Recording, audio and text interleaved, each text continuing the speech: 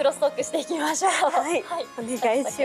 よろしくお願いします。よろしくお願いします。すみません、ちょっと音声がね、あの調子が悪いということで、申し訳ありません。はい、ここからはですね、お話をしていきたいと思うんですが、はい、今日から2月スタートですね。早いですね。ねもう早くてまた2月自体があの28日までしか、はい、あもうあっという間に終わっちゃうんでしょうね。ね。うん。冬の期間って、はい、なおちゃんはよさこいとかはしたりします？冬はしないので、毎年運動不足ですね。そうなんはい。みんなであの筋トレしたりとかも特に。もう特にもうオフシーズンになってるので、そうなんです。そうなんですよ。なるほど。運動量が少ないです最近運動してますか？そうですね。私はヨガとあとジムに通っているので、はい、適度にという素晴らしい。ですね。あの1月のね年,、はい、年末年始で蓄えたものがいろいろついてあるので、そうなんですよね。運動しないとですね。ねやっぱあの健康を保つために、はい、栄養あるものを食べたりとかね。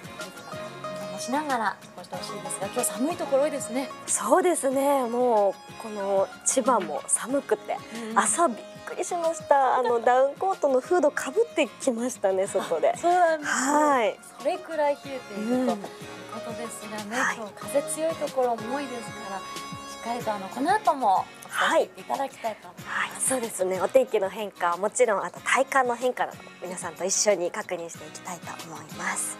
どうもありがとうございました。ありがとうございました。ということでなおちゃんとクロストークを行っていきましたこの後ウェザーニュースライブサンシャインぜひともお楽しみください。モーニングお付き合いいただきどうもありがとうございました。それでは失礼いたします。さあではまもなく。ウェザーニュースライブサンシャイン終了のお時間ということですがこの後11時からはウェザーニュースライブコーヒータイムですねコーヒータイム担当のキャスターさんとバトンタッチしていきたいと思います今日のコーヒータイム担当は鈴木里奈キャスターリナッチですこんにちは。よろしくお願いします。いや、2月になりましたね。そうですね。ちょっとリナッチ今日はあのバレンタインっぽい。あ、そうですね。ネイルもちょっとバレンタインおお、本当だ。ハートがついてる。可愛らしいですね。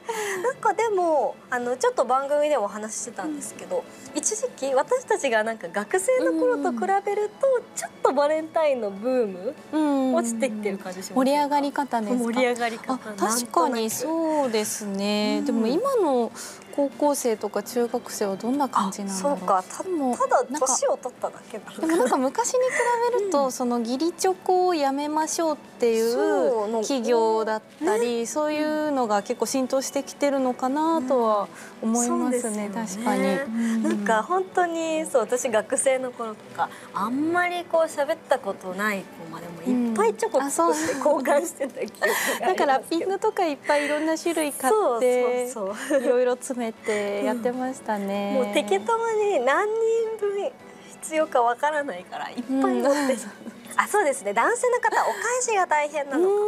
もう女性同士でね学生の時交換しましたよね。しましたね、なんか小学生の時にあの男の子がホワイトデーの日にすごい紙袋2つぐらい結構モテモテの男の子がそう持ってきててあーって思ってて大人になってからその話をしてみたら、うん、なんかあれ実は全部自腹でってあのちゃんとお小遣いから引かれてるんだよね、えー、モテモテも 大変です、ね、あのママが大変だなって小学生の時に思ってたんですけど、えー、お母さん大変だったよねあの時って言ったらあれ全部自腹なんだよって。そうなん言ってました。なんか私の学校のモテモテだった男の子もなんかたくさん用意してきてたんですけど、うん、ちょっとなんかあの小学生用のなんかネックレスみたいな、おもちゃのネックレスとすごいお返し。お母さんまあ、そうそれも後から聞いたらその子に「いやお母さんが全部用意して買ってきてくれた」ああんたのこう株落とさないために 気合い入れて選んでたんだよって言ったらしい、えー、お母さん大変ですね。ね大変。うん。もらったらもらったら大変。大変です。嬉しいけど。結構皆さんとお話してたんですけど、うん、その義理チョコやめようっていうね風潮もありますし、うん、自分が好きなチョコを買う日とかにしたら確かにそうですね。みんな楽しいですよね、うん。買いにくいとかもないしご褒美。で、うん。去年ゴディバがあの、義理チョコやめようっていうキャッチフレーズでなんか新聞に出てましたよね。うん。なんか嘆きが。なんでですか？私は自分のために好きなチョコ買いますよ、一昨年一緒になんか好きなの買いに行きましたよね。好きなチョコを買いに行きましたね。これ可愛いって言って。うん、皆さんもぜひ自分のね好きな食べたいチョコ買ってバレンご褒美でタイ食べンの時期男性も結構買ってますからね、うん、そうですね、逆チョコとか自分のためのチョコとかでね、うん。買ってらっしゃる方も多いですのでね。いいかもしれないですね。バレンタインの話やめろといっぱいそうですね。ちょっと2月これまでずっとバンレンタインの話してバレンタインの話盛り上がっちゃいましたけどね。まあでも月も変わって2はい月に入って、い、ろんな、ね、話題もどんどん増えてきますけれどやっぱりちょっと春の話題もこれから増えてくる時期ですよね。はいそうただまだ今日は各地で厳しい寒さとなりそうですのでその体感であったりあとは日本海側のお天気も皆さんと追っていけたらいいなと思います。はいではこの後のコーヒータイムよろしくおお願いしますます。ありがとうございまました。はい、クラスとバレンタインのお話で盛り上がってしまいました楽しかったですね皆さんそうですね。あのバレンタインなどのイベントもありますけれども節分も2月3日にありますしね。あのだんだんとこう春らしいような暦のイベントが増えてはくるんですけれどもね。やはりリナッチもお話ししていましたが今日は各地で冷たい風が吹き厳しい寒さです。雪が強まっているところもありますので、ま、今日はそういった雪や寒さに十分にお気をつけてお過ごしいただければと思います。では皆さんここまでウェザーニュースライブサンシャインたくさんご参加いただきありがとうございました。この後も素敵な時間をお過ごしください。さあそろそろウェザーニュースライブコーヒータイムも終了の時間が近づいてまいりました。この後14時からはウェザーニュースライブアフタヌーンが始まります。今日の担当キャスターは檜山さやキャスターです。こんにちは。よろしくお願いいたします。さやっちは和歌山県行ったことありますか？和歌山県はないです。パンダがすごい可愛らしいあ、そうですね。ちょっと今拝見したしました。可愛かったですね。可愛いですね、すごいドアップですよねうん。あのサングラス効果があるんですか？あみたいです、えまあこの黒いところにはい集まるんで、うんそれをこう分散させてえる、いいですね。今日リナッチさんイヤリング可愛いですねピアスですか？ねすごいなんかついてるよってすごくコメント可愛い。でもさやっちはあクロス？そうです。あ可愛い ちょっと小さくて見づらいんですけど、うんはい。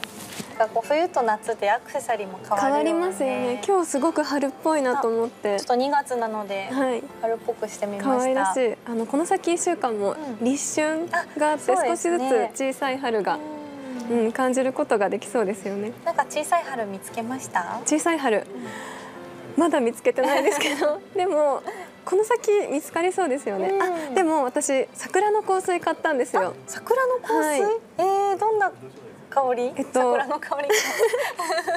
あの何でしたっけ？銀座にあるパフュームオイル何でしたっけ？ファクトリーっていうところの香水なんですけど、うん。一目惚れして。えー一目パッケーですか？パッケージも可愛かったんですけど香りも。香りで一目なんて言うんですか？一目。ななんだろう。一目。人人影？人影一目書きですか？人影漏れ？人影惚れしまして。えリナッチさんは好きな香水とかありますか？香水結構あのフローラル系とか、はい。甘い系がうん結構す。ごいリナッチさんらしいですあとはあの、はい。調香師の方の結構背景とかもすごい魅力に感じて、メッセージに惹かれますよね。わかります。うん。まあ桜の香りだとこれから春に向けはい。てちょっと楽しみな気持ちも込めつつ使う今日もちょっとつけてます。あ本当、はい。あいい香り。なんかお風呂上がりみたいな感じ。ちょっとモテそうな感じ、そんなことそれを意識してるわけではないんですけど あの桜の香りが好きで。うんいいですね。あのアフタヌーンティーとかも桜のがもう出てるっていうニュースを見て、そうですよね。もうちょっとずつ春にシフトしてきてるなって思います。この後ですねアフタヌーンが始まりますけれども、はい、この後はどんな内容になりそうですか？あのこの後もお天気を追っていくんですけれども、はい、あの北日本では雨風そして雪が強くなることで暴風雪となる可能性もありますのでそこを中心に追っていければと思っています。また明日の変化についても追っていきたいと思います。はい。ではこの後14時からよろしくお願いいたします。ありがとうございました続いて14時からウェザーニュースライブアフタヌーンですね。さやちが担当いたします。この後のお天気あとこの先のお天気もですねチェックをしていくということですのでぜひ皆さんもご参加いただければと思います。では皆さん今日も3時間ありがとうございました。今日日本海側のエリアはまだ雪の降りやすい天気続いていきますし降り方が強まる恐れがあります。特に新潟県などは今夜から明日の朝にかけて積雪が増す予想ですので十分お気をつけください。そして晴れるエリアでもまだまだ寒さ続いていきそうですね。昨日との差も大きくなっておりますので風邪をひかないようにお気をつけください。それでは皆さんこの後も素敵な時間をお過ごしください。それではもう間もなくウェザーニュースライブアフタヌーンは終了の時間となっていきました。17時からはウェザーニュースライブイブニングが始まります。続いての担当はゆいちゃんです。ゆいちゃんよろしくお願いいたします。よろしくお願いします。あの、はい、2月が始まりましたね。始まりました、はい、い やあのさっきのさやちゃんの言葉面白いなと思って引きずり笑い。一緒に歩きましょう。一緒に。確かに歩けるくらいはっきり見えてますよね。よ。り美しいと、はいえー、ゆいちゃんは2月になりましたが、はい、何かお出かけとかしますか？2月は、はい、そうですねお出かけというか旅行をたくさん計画してるんですよね。えっ、ー、と海外なんですけれども。ズバリ。ズバリ。ヨーロッパの方へ。いいですね。何泊するんですか？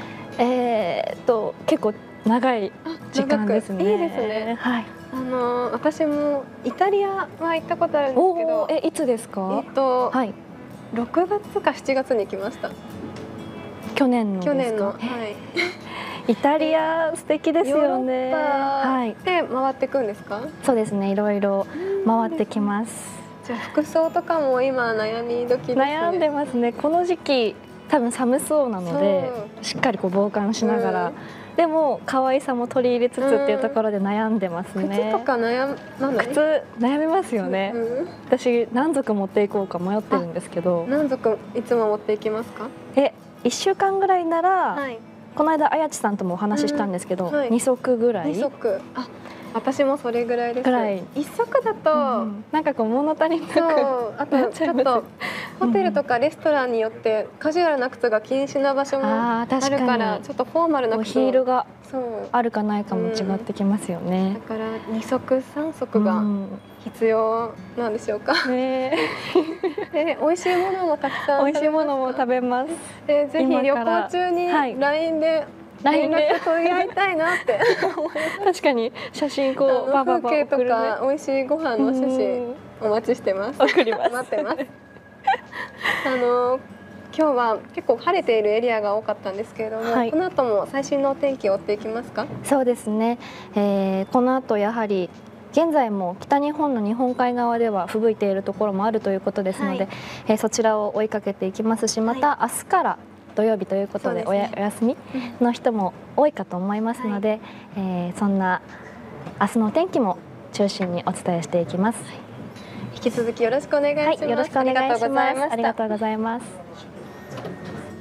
ゆいちゃんと番組の引き継ぎをしていきました。ゆいちゃんは今月旅行に行かれるということでいいですね。私もちょっとプチ旅行を考えてみようかなと思いました。また今日は西日本東日本では晴れているエリアが多くなりましたが引き続き北日本では雪や雨に注意が必要です。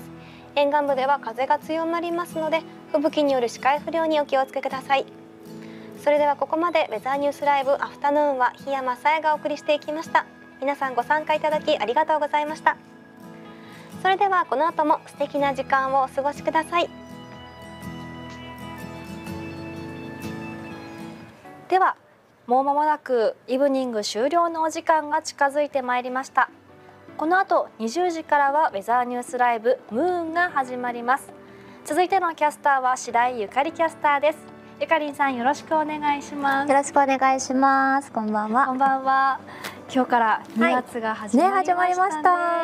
2月もイベント盛りだくさんですが、はい、やはり3日の節分、あきますね。そうですね。あのなんか最近は、鬼は外福は内という声が、うん、あの外からなかなか聞こえなくなったねなんて話もあったんですけれども昔はゆかりんさんのお家では外に豆まきしてましたか、外玄関のところまで、はい、あしてましたしてました。なるほど、まあ、あまり外に行き過ぎても豆が広がってしまうそうですね。あの拾わなきゃいけないので、ね、あのあまり玄関には投げないでって言われながらも思いっきり 投げてました。そういうのが楽しい、はい、楽しいですね。ちょっともう、はい、いいんだか悪いんだかわかんないけどもういい。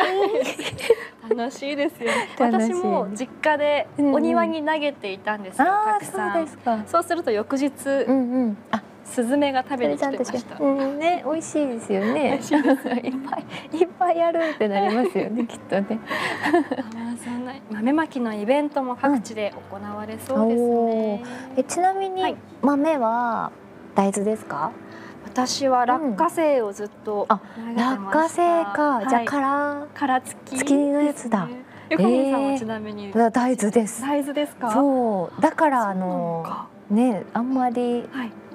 投げすぎてしまうと食べれない、ね、食べれなくなっちゃうのであんま投げな投げないでって言われながら投げてました、ねはい、どうなんでしょうね。これはエリアによって違ったりもするんでしょうか、そうみたいですね。これも地域性があるよう本当だ。東北は落花生ですよね。とね仙台はそうだね。じゃあその後殻をパリッとて殻を剥いて、年の数だけ食べてましそうかそうか。年の数以上食べてたかいやそうですよね。そうなりますよね。大体小さい頃って、いくつかしか食べれないですもんね、うん、そうだからまあ絶対ね片手で入るくらいの時とかだったらもう倍以上食べてる。ね食べてますよ。ねきっとね。あもうそんな2月も盛りだくさんな日が続きますが、はい。うんうん、明日からまた週末がやってきますね。ね早いですね。早いですね。本当一週間あっという間だなって思うんですけど、一ヶ月もあっという間だなってよく思うんですけど。こうやって2019年いや本当ですよ。怖いなと思いつつ、ね、はい、また週末がありますので、明日またお出かけ日和となるところも多くなりそうですよね。そうですね。はい、なので最新の天気の情報、あの気温、体感がどうなっていくのかなどなどご確認いただければと思います。はい。はい。ではこの後20時からどうぞよろしくお願いします。よろしくお願いします。ありがとうございます。えー、ということで20時からはウェザーニュースライブムーン白井ゆかりキャスターの担当ですやはり豆まきは地方によって習慣などが違うんですね私のお家ではずっと落花生でしたずっとですねはいずんだ？ずんだではないですよ。枝豆は投げてませんよ。今のスタッフさんからの声が。ずずんだね。はい。まあずんだはね食べるものです。はい。お餅につけて食べるものです。うちは納豆投げてた？えー、ネバネバになりますよ。ぜ納豆？うん？枝豆？茨城は？ずんだ、まあ、いろんな意見が出てきましたのでもう ここら辺で番組締めようかなと思います。はいこの後もムーンではですね明日のお天気中心にお伝えしていくと思いますのでぜひそちらも皆さんご参加いただければと思います。では皆さんこの後も体調管理に気をつけて良いお時間をお過ごしください。ではここで失礼いたします。